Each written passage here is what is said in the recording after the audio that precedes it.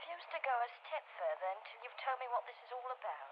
Alfie, I refuse to go a step further until you've told me what this is all about.